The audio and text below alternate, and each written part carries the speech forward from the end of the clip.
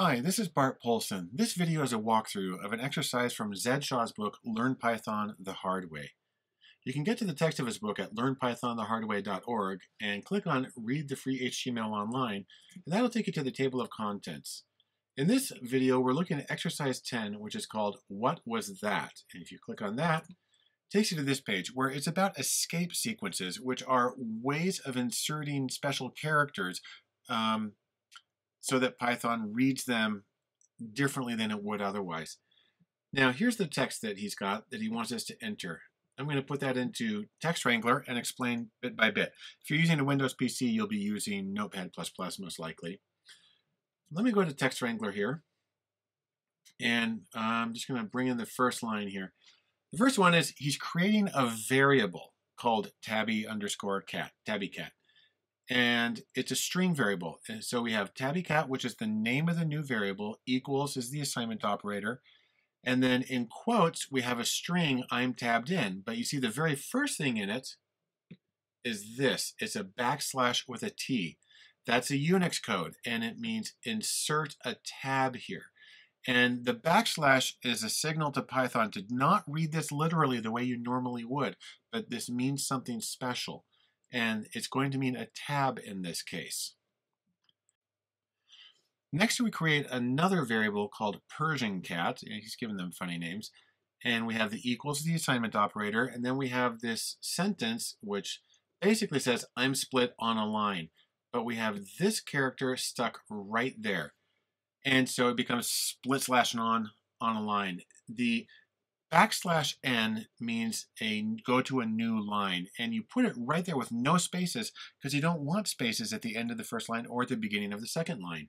You want to go straight through, and so you end up with this funny looking text. After that, we have one, he calls it backslash cat for, and a double backslash is a way of inserting a single backslash because the first backslash says, don't print this literally, don't read this literally, but make it something special and the special thing actually is a backslash. So the symbol that serves both as a signal and as the character are the same, coincidentally.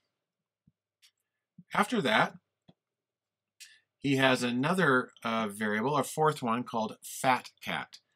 And this is where we're using the triple uh, quote marks. Now you can use either single, you can use either single quotes or double quotes. Um, as long as you use the same at the beginning and the end, you're fine.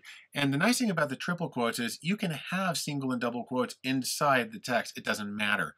Um, it's only going to stop if it hits triple quotes again, and since that doesn't happen in real life, you don't have to worry about it. But what we have here is tabs. See the, the back, backslash T is the tab that we had earlier. And so what it's going to do is going to make a tab list and the asterisk here just serves as a bullet point. So we're making a short list. And then this last one actually has two bullet points, but because it has this um, backslash n, it's going to put the last one on a new line. Let's see here. I talk about, oh, by the way, if you want to, you can put the first line, see how it's on the, we have the triple, triple quotes and we go to a new line, we put it here you can put that first line right up here and you can also put this triple quote right at the end of the last line and that way there won't print any blank lines in the terminal if, if that's what you want. Um, anyhow and I believe our last command is to actually print things because up to this point we're simply defining variables. Now we're actually going to print them or show them in the console. So that's going to be the terminal on a Mac or PowerShell on a PC anyhow I'm going to come over to here now uh, let's see, we can save that. I'm going to come over to here. And I'm, I've already switched over to my active folder. So I, my working directory is scripts, which is where these are all stored. You can see I got this big long address to get to scripts, but I've already switched over to that. And I'm just going to type in the blinking cursor, all in lowercase, the word Python to say execute this as a Python file. And then the name of it is ex10 for exercise 10 .py, which indicates that it's a Python file. I hit return, and there we go. You see that the first line, the first thing to print is tabbycat. It says print tabbycat. Well, we come up here, and it says I'm tabbed in, and the first thing it does is it inserts a tab.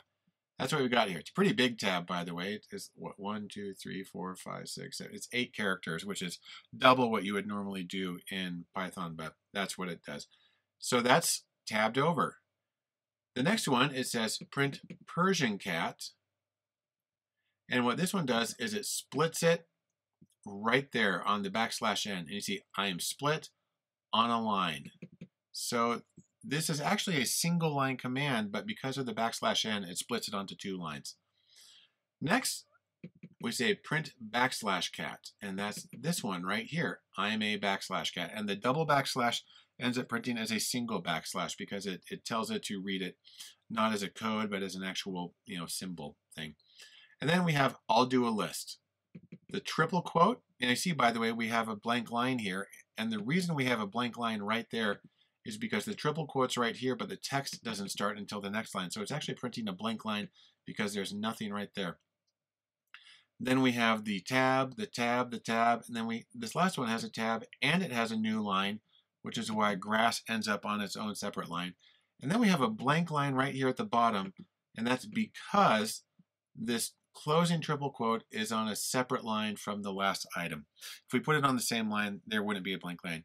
Anyhow, that's it for um, exercise 10. Hope that was helpful. see you soon.